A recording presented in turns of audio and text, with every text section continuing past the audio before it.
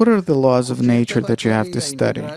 The general integral laws of nature, that the whole of nature is an integral system and that we're not in conflict with one another, but that we're all mutually connected. In nature, there are endless conflicts. This is how it seems to us, because anyone who blames does it because of his own flaws.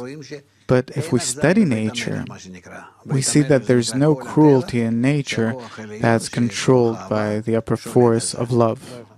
I don't understand.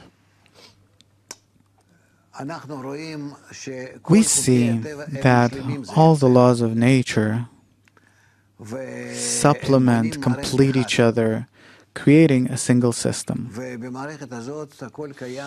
And in this system, everything exists in connection, mutuality.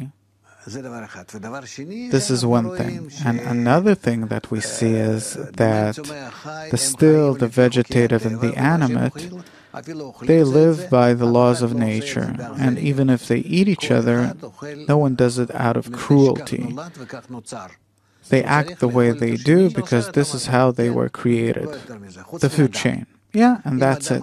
Besides man, were a man to also use only what he really needs, then we would all be on the same level as animals. Everyone eats only what they need, meaning whatever a person needs and no more. Right, but that's not how reality is. It isn't. Not on the political level, international level, personal level, nowhere. I need $100 a month. Everything else I make, I spread. It doesn't work that way. Of course it doesn't. But I'm willing to leave you without two dimes to rub together. Obviously. So here what we need is integral education.